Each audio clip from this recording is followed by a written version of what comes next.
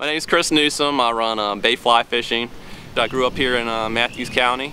Grew up on the water, spent a lot of time on the water, and just kind of grew into this business. The fishing I do is, is specialized compared to a lot of what you see around here in the bay where people troll and bottom fish.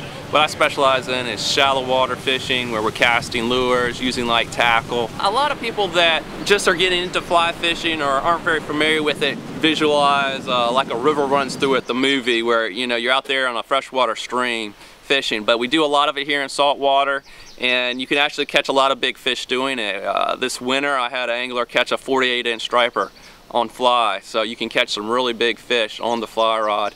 And most of our flies don't imitate bugs, but they're actually imitating minnows.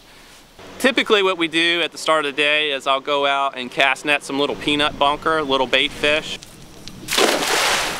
And we'll use those for what I call uh, my fish finders. So I'll toss them out to likely spots where the fish will be holding and they'll swim around and if the fish are in the area they'll come up and splash on the surface chasing the bait. So it's a pretty exciting style of fishing because you actually see these fish busting on the bait right in front of the boat. And then what we'll do is we will either throw a, a live bunker, live menhaden, which is a little bait fish, throw that out on a hook to the fish, or we'll also throw uh, a fly or a light plastic uh, lure on a spinning rod.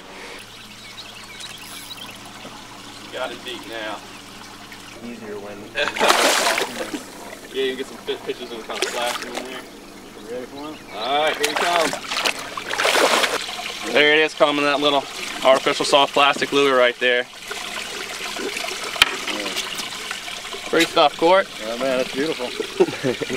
One nice thing about this style of fishing is we're not bouncing around out in the middle of the bay. We're up in protected waters, which is nice. We're fishing generally two and a half to six feet of water, fishing shallow water structure, whether that uh, the fish are attracted to the structure. It's kind of ambush points. Um, what we fished today was a lot of uh, pier pilings, a lot of old pilings they're attracted to.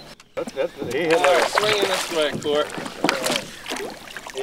He hit like a plate. Nice. There it is. That's what it's all about, guys. that's a good start.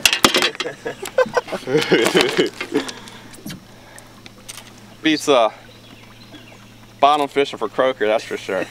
Other times we'll fish grass flats, oyster reefs, rock piles, and uh, marsh points. Anything like that will hold fish.